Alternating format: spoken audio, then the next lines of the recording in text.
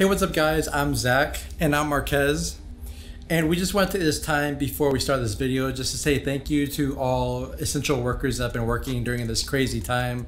All doctors, nurses, first responders, restaurant workers, store workers, janitors, just anybody who's been working during this pandemic. We just want to say a big thank you to you.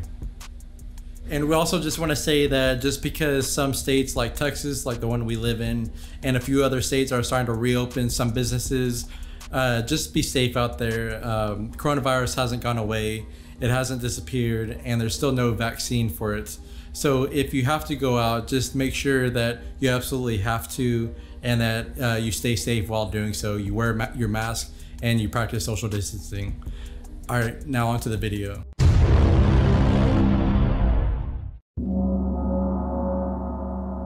Hey everyone, thank you so much for clicking on this video. We will be going over our uh, 50, 50 through through 41. 50, 50 through 51.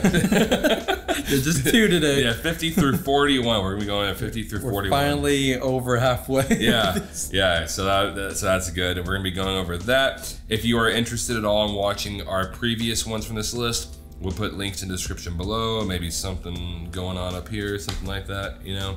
Uh, so you can watch those. And if you are not interested in watching our other ones and you just want to go from here, uh, we will also put our list down in the description below. And here's just a list of our disclaimers, just so we don't have to talk about them over again. For my honorable mention, I'm going to go with Inside Out, which is a really great Pixar film that really delves into the mind of this child. They did uh, talk to people, psychiatrists, psychologists, just to understand what children have to go through and how their minds work a little bit. And my honorable mention is Megamind, and I kind of debated on if I wanted to put this movie or the first Despicable Me uh, as my honorable mention because they're both kind of similar, similar in concept and they both came out the same year. But I really, I, I feel like this movie handled its silliness a little bit better, and just overall, it's a really fun, enjoyable movie. For my number 50, I'm gonna go with Toy Story 3. For a while, we thought it was gonna be the end of the trilogy, and it really, if it would have been, it would have been fine because it actually ended it very well. Uh, and this movie is really good overall. My number 50 is The Secret Life of Walter Mitty, which I feel like is one of the most underrated movies of this decade and also one of the best. I really love the message of just living in the moment instead of always daydreaming about uh, fantasies and just enjoying the moment you're in and loving life while you live it. My number 49 is gonna be Hacksaw Ridge, and even though the director has had his past and I really don't like him, I do think this is a very intense movie and just really interesting to think about how this man lived through this war. My number 49 is Seven Psychopaths, and this is a really strange movie. I, I vividly remember going to see this in high school with my friend at the time, and just halfway through the movie, we, we just like looked at each other like, what the heck are we watching? Because it's a really over the top kind of movie about a guy who's trying to write a movie called Seven Psychopaths, and then just how his friend gets a little bit overly obsessed with helping him write it. My number 48 is going to be The King's Speech, which is a really good movie that it's it's really cool because the uh, I believe it was the writer uh, of this movie who had the same kind of speech impediment that the king had in this movie that really made him want to make this movie. And he actually heard the speech that this king gave. You can hear it on YouTube as well. And it's just really cool hearing the backstory about this and what this guy had to go through in order to just say this speech properly. Not only that, but this movie has some really great scenes between uh, the king and his therapist. And then the director went on to make cats. Yeah. For my number 48, I have The Lighthouse, and this is a movie that's shot with extremely old uh, equipment. They actually use cameras and equipment that was used in the time period that this movie set in. And it's a really interesting movie about two guys who are stranded, not really stranded, but they're both, what's the word? Not stranded. They're um, they're stuck together in this lighthouse on this island, and you really start to see them really kind of go crazy. For our number 47, we both went with The Nightingale, and this movie is, although really good, it's an extremely hard movie to watch. I really don't know if I could watch it again, but it's it, it, 'cause it really gets into really brutal territory. And even though it's brutal, it's not brutal just to be brutal. It actually works with the film to actually make it more intriguing.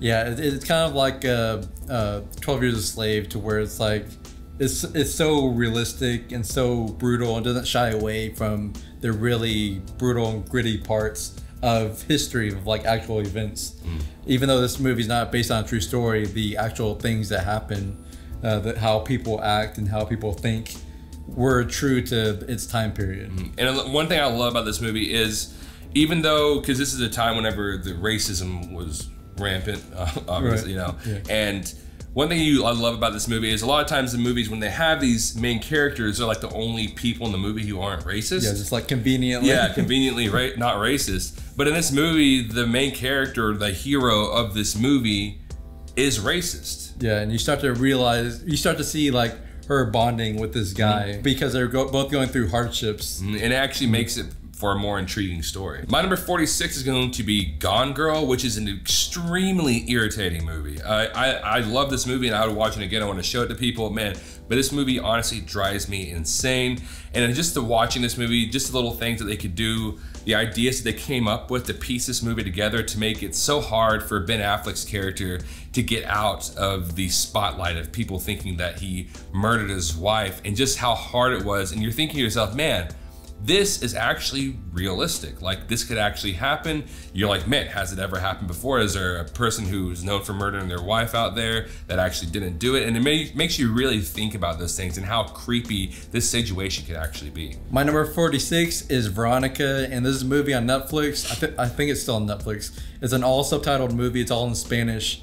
Uh, and it's a really great horror movie. It's um, That's a really coming of age story, but it's not cliched. For my number 45, I cheated on this one just so I could fit more movies into this list. Uh, and also because I really think they're about equally the same. And that is the Mission Impossible trilogy that came out in this decade. Uh, I know it's not. I know the Mission Impossible isn't a trilogy, but the, the three that came out this de- decade: Ghost Protocol, uh, Rogue Nation, and Fallout.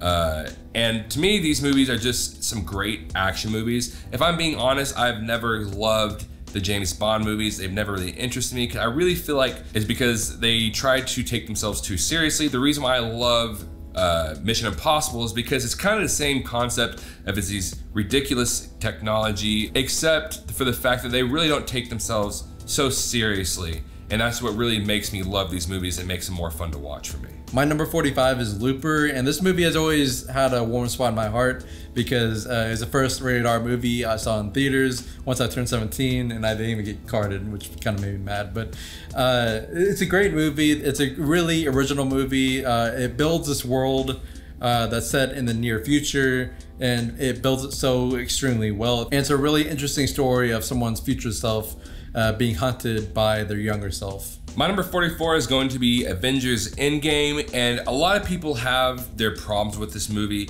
But if I'm being honest, almost every issue that I heard people had about this movie, I actually did not have those issues at all, even though I do have some. And if you're interested in that, I do have we do have a video up about how why I don't agree with people's complaints about Avengers Endgame. We also have a video about why we don't agree with Ben Shapiro's review of our Endgame and stuff like that. If you if you're interested in watching those. But to me, this movie is just a great conclusion to this entire 10 year franchise and it was just a great film overall. Sure there was times where i had my very tiny issues but really i could i overlooked those completely just because of how i thought this movie was so well written even though maybe there are maybe there are some plot holes when it comes to the time travel but to be honest i really don't look at plot holes when it comes to time travel movies because time travel movies are just so hard to make i just felt like this one was really well put together My number 44 is Jojo Rabbit, and this is a satire about the Nazis and World War II in general. And but it's done so cleverly that it doesn't feel distasteful. It's a movie that really shows just how racism can be ingrained into children's minds from a young age. For our number 43, we both chose Argo, which is a really cool movie. And one thing I love about this movie is the fact that a lot of stuff in this movie, the main portion that this movie that this movie is talking about is trying to go for doesn't really happen until I'm going to say more than halfway through. But this movie does have a way of keeping you intrigued in it because it really just shows the tough process that these people went through to succeed with this mission. Yeah, it's, it's really interesting, especially for me and Marquez, because like it had to do with like them making a movie, mm-hmm. a fake movie, and the last like 30 minutes was like the most stressed I've been while watching a movie in a while.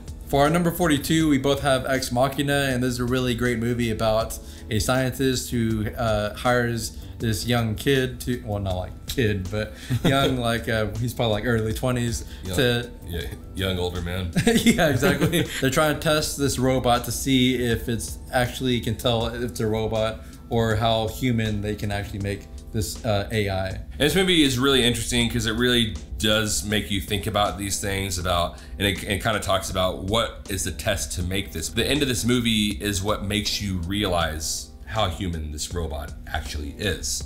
And also, I just love the, I love movies like this, isolationism, movies like uh, The Lighthouse, Right. where it's just two people, there's nobody around. So there is a creepy feeling in the back of your mind, like if anything happens, there's nobody can ever know about it. Right. Which you just answered my question. We were trying to figure out the word is isolated, Oh, uh, not stranded. For my number 41, I'm gonna go with This Is the End. And this honestly is the funniest movie I've ever not the funniest movie. one of at least. It's like, dang, didn't know you loved it that much. Uh, it's up there though. yeah. Honestly. Yeah, definitely. This movie just all the way through just is hilarious. And like Zach said earlier, this movie does get weirdly philosophical at times, but never really loses that comedy aspect. Even by the end, whenever it feels like it shouldn't be as funny anymore, it actually stays funny and it never really feels the humor never feels out of place. My number 41 is Whiplash, which I just recently found out that it's a Blumhouse movie. like all their movies are horror movies. I think it's like one of their only like non-horror movies. And it's like one of their best movies. Uh, it- it's a movie that really shows just how far someone will go to be the best at what they do.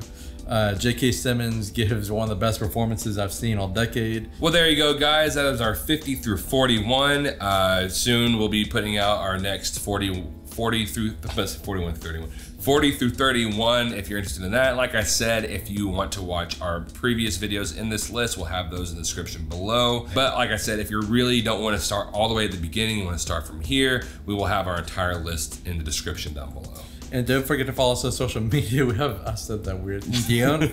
and don't forget to follow us on social media. We have Facebook, Instagram, and Twitter. What the heck am I doing? All right. And don't forget to follow us on social media. We have Facebook, Instagram, and Twitter, all at Two Awesome Men. And as always, thank you so much for watching, and you will see us later.